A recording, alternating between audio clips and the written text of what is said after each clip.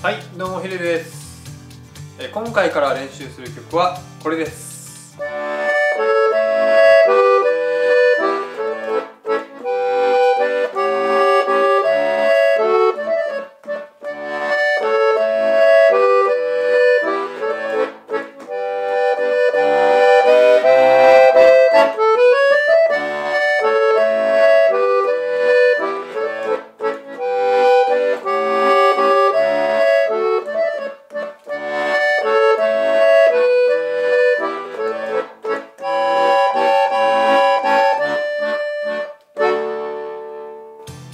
ですか皆さん。なんだか踊りたくなっちゃいますよね。これは有名な「花のワルツ」という曲ですね。こういう軽やかな3拍子の曲をワルツと言います。ワルツはアコーディオンとすごく相性が良くて特にフランスのワルツは有名ですよね。はいではまた右手から練習していきましょう、えー、この曲もですねスラーとスタッカートがあります。スラーというのはこういう放物線で滑らかに弾くところ。またちっちゃい点がついてるところはスタッカートといってあの短く弾くところですね。例えばここです。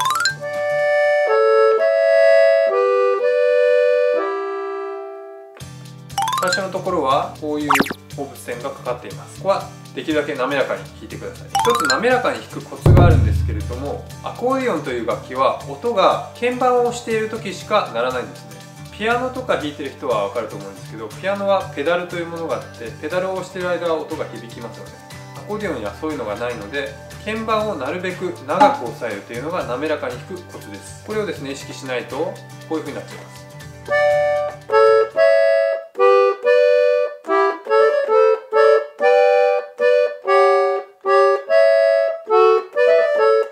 こういう風にブツブツ音が切れてしまうんですね。なのでなるべく一つの音を弾いたら次の音を弾くまで鍵盤を押さえ続けるという意識を持って弾くようにしましょう。例えば最初のところ。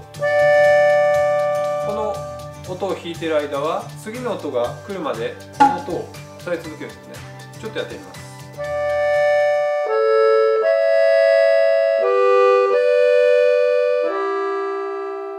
こういう風に一つの音を押さえたら次の音が来るまでその鍵盤をなるべくギリギリまで押さえておく。そうすることによって音が途切れないで滑らかに弾くことができますね。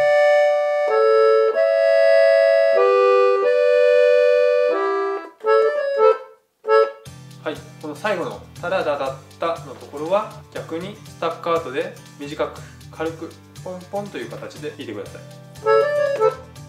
はいあともう1点ですね。この楽譜を見てもらうと F とか MP とか書いてあるの分かるかと思うんですけどもこれは強弱記号といって音の大きさを指示するところなんですね。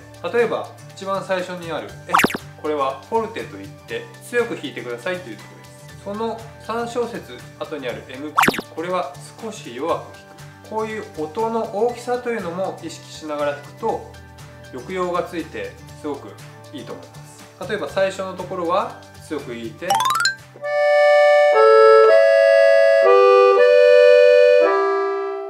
その次のところは少し弱く弾く。また同じですね。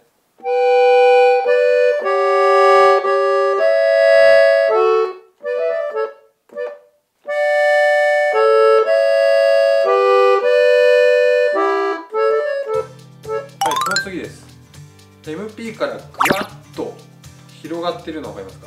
こういう二股に分かれてるこういうのがこういうのがありますね。こういうのがクレッシェンドといってだんだん強くしていくというところです。少し弱めに弾き始めてガッと上げて F が2つあります。これはフォルティッシモといってとっても強く弾くところなんですね。3段目のところいってます。弱く始めて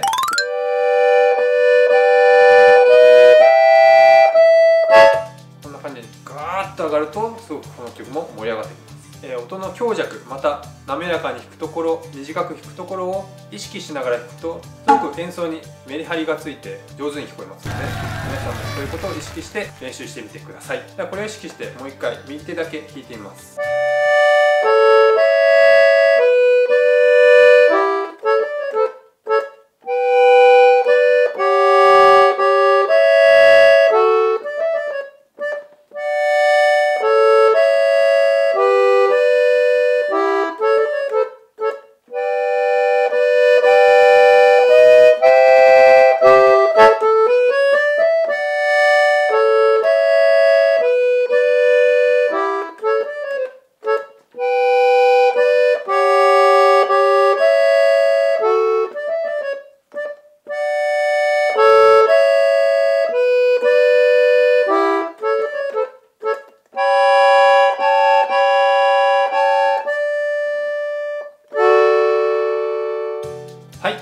ポイント。スラーやスタッカートまた音の強弱を意識して演奏する。はい皆さんもこれを気をつけて右手を練習してみてください。次回は左手をやっていきます。